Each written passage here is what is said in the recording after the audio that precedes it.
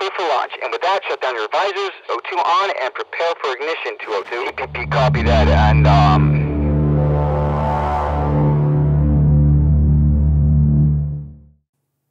All right, once again, it's me, Mr. Rueschhoff. All right, in our last two lessons, we were talking about the economic systems and the government systems of the countries around the world.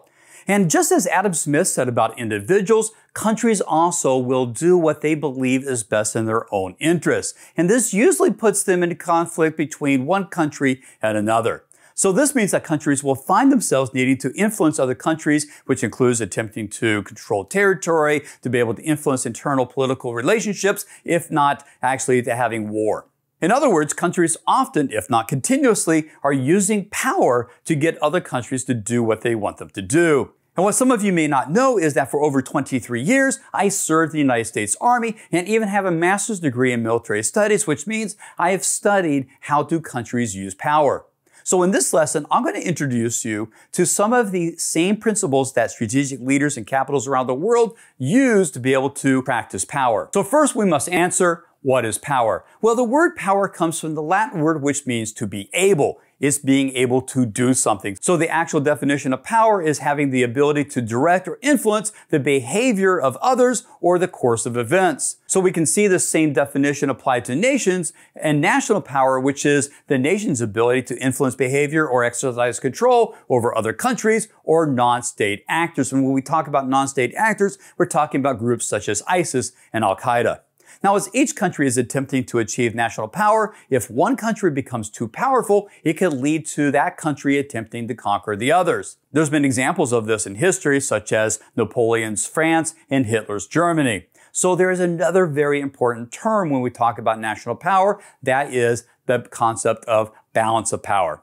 Balance of power is the distribution in opposition of forces among nations such that no single nation becomes so strong that it can dominate the others. The Cold War that existed between the United States and the Soviet Union between 1945 and 1991 was actually an exercise of power. Both sides were pretty much equally powerful, so neither was able to get an advantage.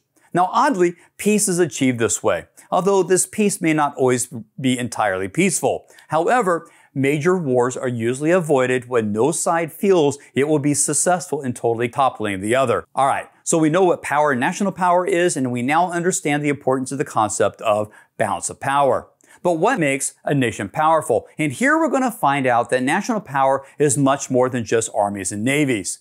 When strategic planners in Washington, D.C. or any other nation's capital think about national power, they talk about it in terms of the sources of national power and the instruments of national power.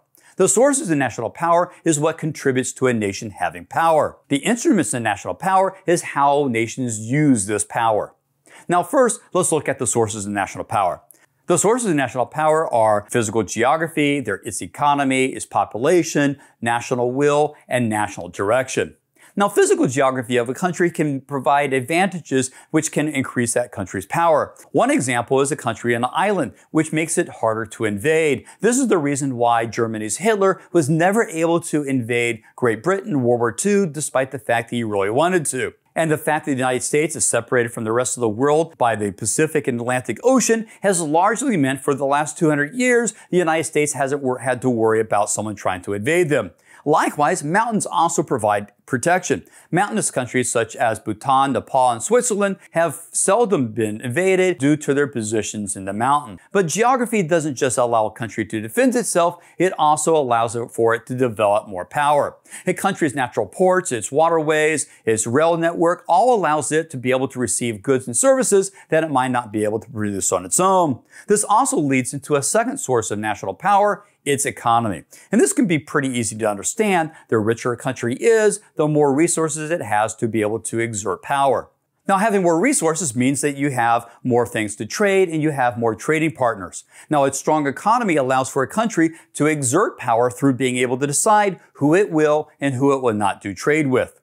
Now, if a country has more resources, this also means that it can support a larger military and it can support those military operations over a longer period of time.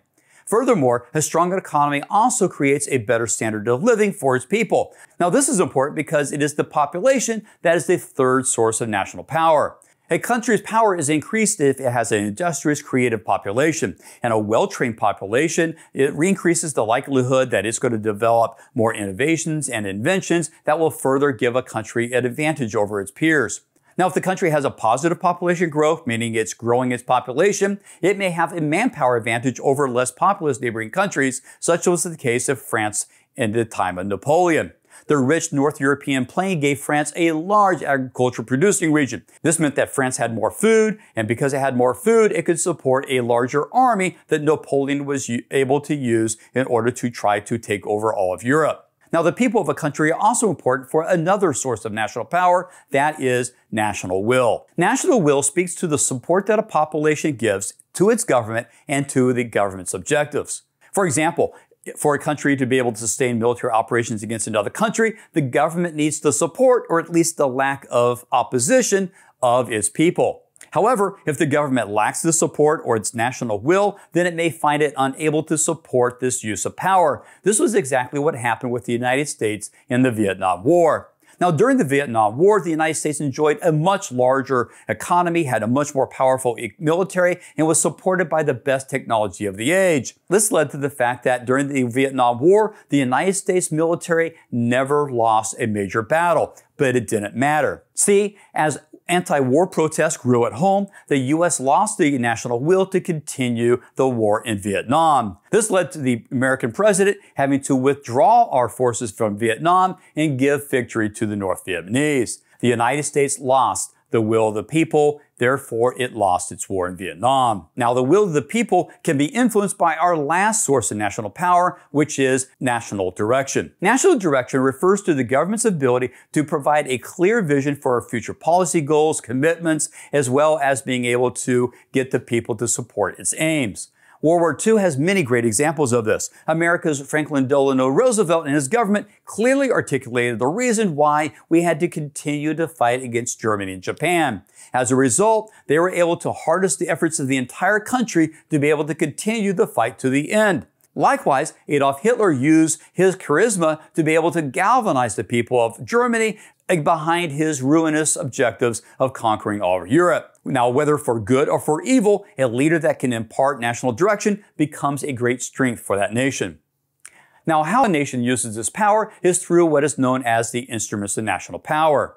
The instruments of national power represent the resources that can be manipulated and employed as part of a state strategy for national security. Now, we can remember the instruments of national power by thinking of the dime, which is diplomacy, information, military, and economics. Together, these instruments represents the power the state may bring to bear against its regional and, and international neighbors. Now, national power is the combination of all these elements, and the state can use them in varying combinations according to the situation.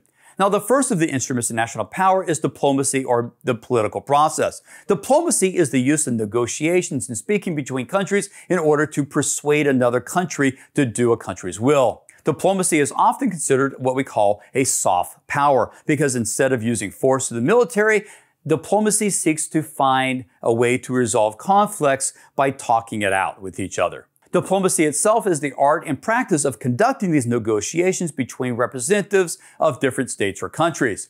The individuals that do this on behalf of their country are known as diplomats. Though diplomacy often results in a formal agreement between countries to either create peace, form an alliance, increase commerce between the countries, or some other international objective. This formal agreement is called a treaty.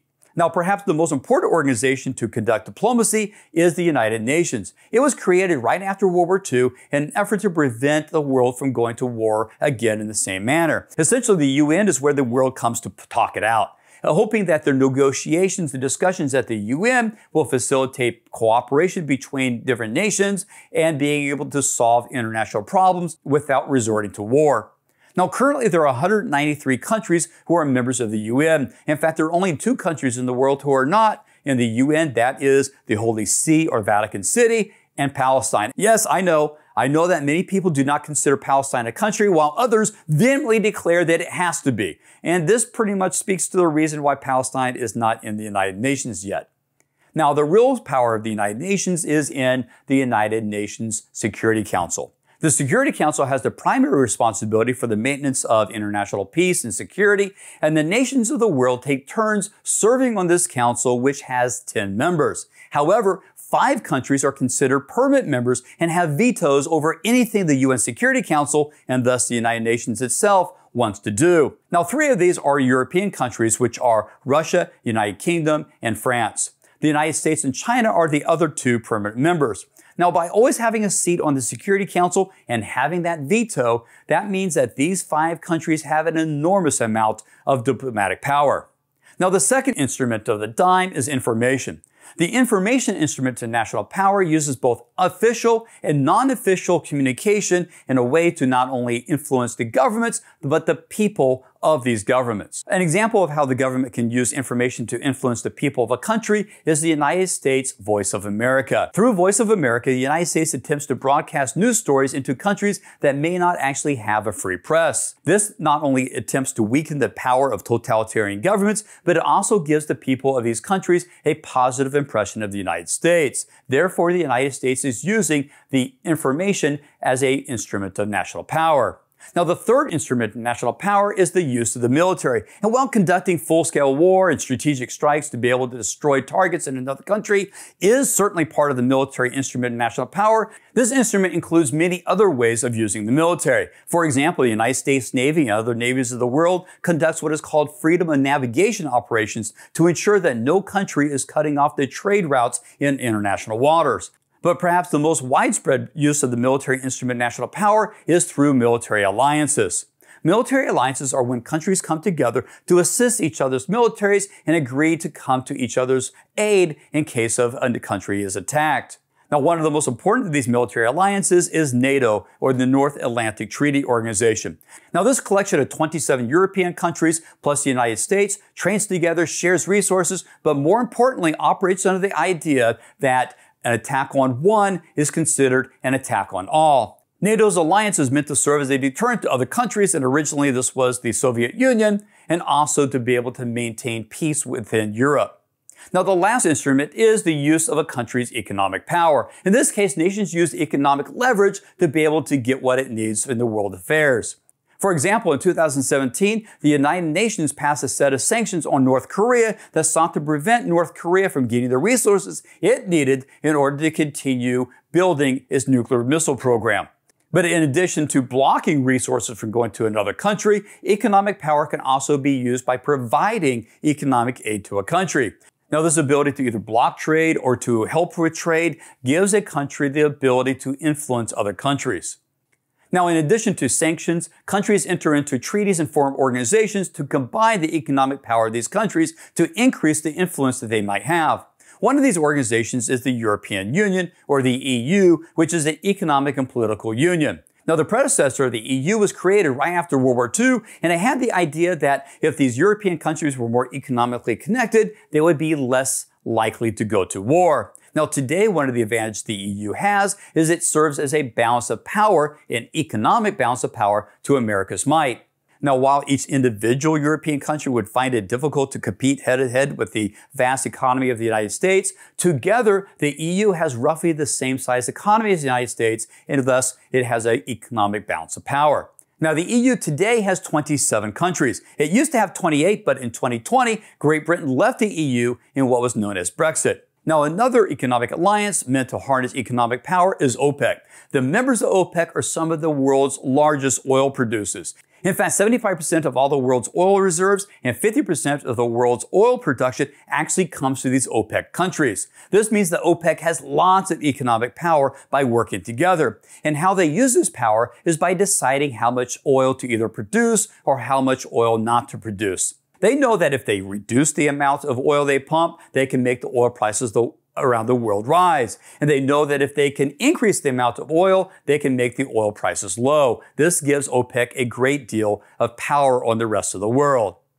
All right, so we have looked at the factors that actually create national power and how countries can be able to exert that through what we call the instruments of national power.